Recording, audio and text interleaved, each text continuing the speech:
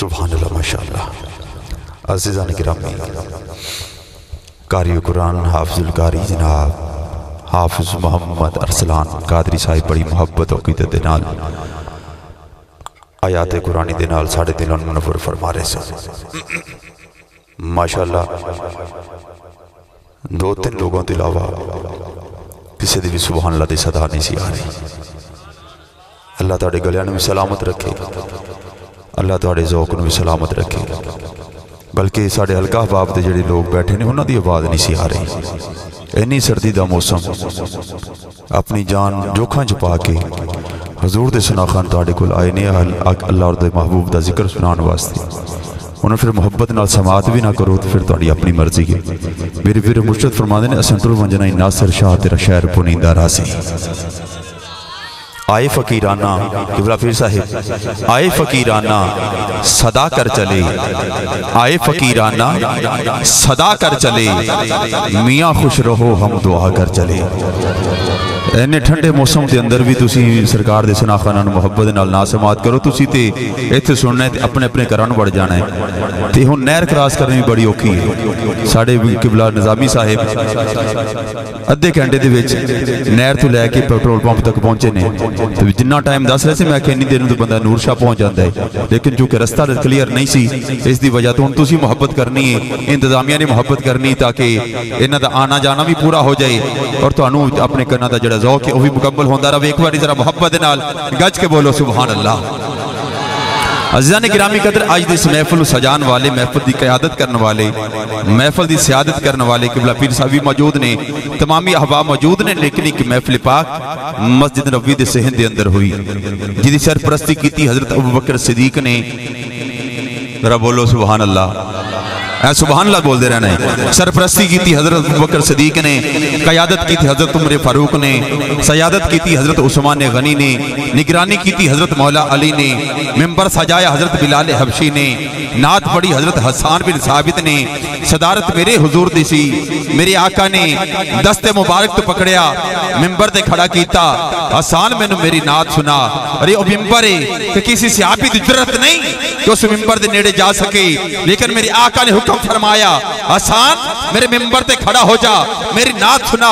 हसान अर्ज़ कर देने, आका, मैं इल्म लैन वाला तुस इल्म देने वाले, मैं कुरान पढ़न वाला तुस कुरान पढ़ान वाले, आका, मैं इल्म लैन वाला तुस इल्म देन वाले, मैं कुरान पढ़न वाला तुस कुरान पढ़ान वाले, आका, मैं नमाज़ पढ़ने वाला तुसी रुकू, सजूद बारे बतान वाले, आका, मैं जिहाद करन वाला तुसी रस्ता दसन वाले, आका, मैं रोजा रखन वाला तुसी इकात दसन वाले आका, मैं मैं उम्मतियाँ तुसी नबी हो, मैं मुक्तदी हाँ। तुम इमाम हो, मैं भीख लैन वाला। तुम देन वाले, मैं मंगन वाला।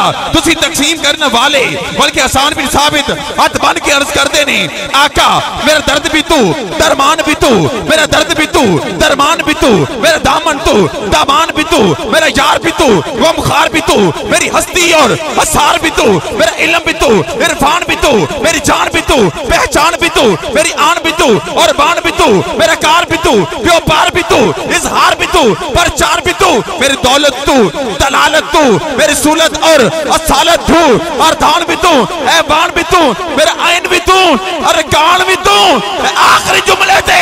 गज के सुबहान कह देना आका, मैं गल मुका देवा। मेरा दीन भी तू ईमान भी तू। मेरा दीन भी तू। मेरा दीन भी तू। ईमान भी तू। आका, मेरा सब कुछ तो आप हैं। मेरी क्या औकात? आपके सामने मिंबर पे खड़ा होके जसारत कर सका। हजरात, मेरे नबी ने फरमाया हसान ये तेरी जात का कमाल नहीं, बल्कि मोहम्मद की नात का कमाल है। आज जड़ी तुम मिंबर ते जगह मिली है। ए, हसान ये तेरी जात का कमाल नहीं। तो बोला, मुश्ताक भाई, ये तेरी जात का कमाल नहीं, बल्कि मोहम्मद नात का कमाल है। जड़ी आज तक मिंबर ते जगह मिली है। मेरे आका का दिल रहमत, जोश आया मेरे आका ने फरमाया, बिलाल मिंबर पे कमली बिछा दो। कमली बिछा दी जाती है। अब हसान अर्ज़ करते हैं।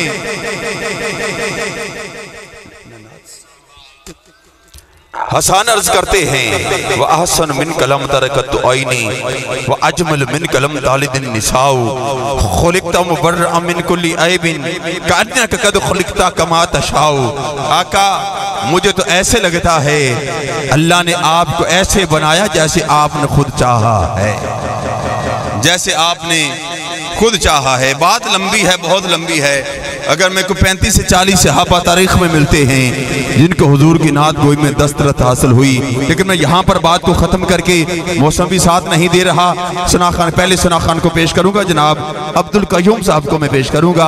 आका करीम की बारगाह में मोहब्बत भरा नजराना पेश फरमाएँगे। मोहब्बत से नारा बुलंद कीजिए, नारे तकबीर। बोलिए बोलिए जरा, नारे तकबीर, नारे रिसालत। नारे हैदरी नारे गौसिया